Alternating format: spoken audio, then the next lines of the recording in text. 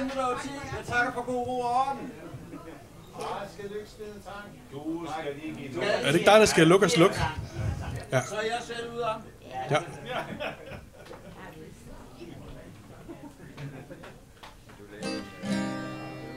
Oj, oj, oj, oj, oj, de er høje, de drenge. Ja. Her lige er du.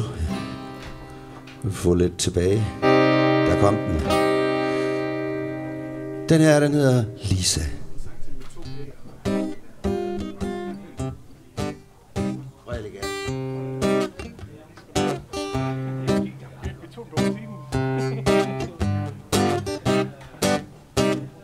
Hver dag, når det bliver onsdag, går jeg i foreningen. For så kommer jeg væk fra job søgningen. Og her tager vi vores tøj på. Det er det bedste, jeg ved. Leder jern og værktøj og sætter hjelmen på sned. Jeg smiler til Lisa, for hun er mig kær. Så leger vi fange med hjelm og vester, brynjer, hester, svær. Jeg kan mærke, at Lisa er god for sådan en som mig. Og hun er nem at snakke med, og det savner jeg.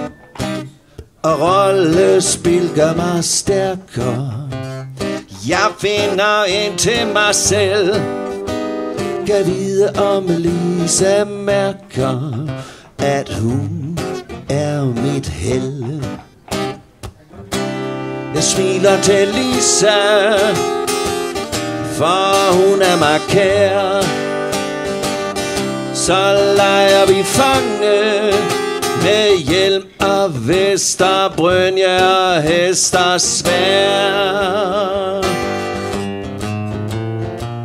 En gang når alting ender, så skal jeg hjem til bords med guderne og hjelm og vester, brynjer, hester, svær.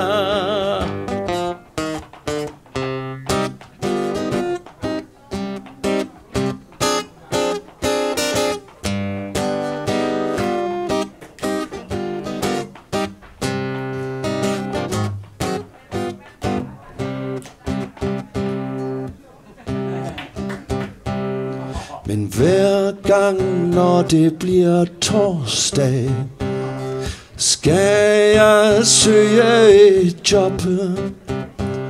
Og nu tror jeg, at Lisa synes jeg er et flop. Ned på jobcenter Ringsted sidder hun pludselig der. Skønne Lisa, der blevet, der sidder ved skærmen der, og så... Jeg smiler til Lisa, men hun er blevet kontrær. Hun gør mig så bange med krav om rådighed uden nådighed. Det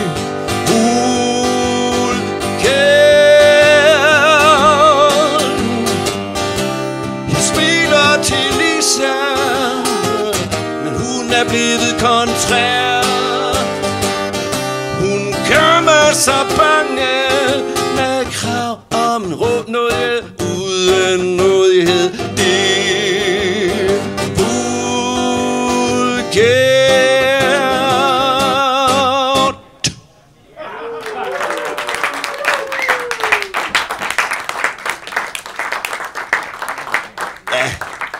Tak for det, og tak for god ro og orden. Og det var sgu spændende at være, være verden, når der var så mange folk.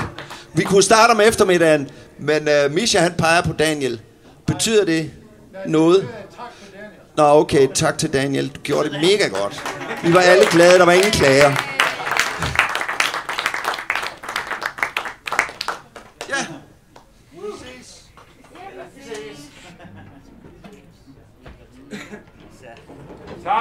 Tak til Günther. Ja, stadigvæk en gratis øl.